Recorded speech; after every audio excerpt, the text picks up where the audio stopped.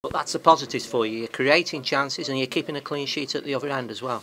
Well, we dominate. We dominate in large periods of, of, of most games, and we're controlling the controlling games. It's just we need a clinical edge. Look, we are missing someone like a Sam Vokes who's brought in to be like to be that you, you, you know. But um, we've created enough chances today. Look, the keepers made some real good saves. We've we've missed chances uh, right at the end. You know the header, but but but for me the positive thing is how they're buying into anything because we worked hard, we pressed. Um, we, we moved the ball superbly well. We controlled possession, 63% of possession. That's what I want from us. And it's just just a goal, really, because we even got cutting edge. It's just, just a final finish. That's all we need.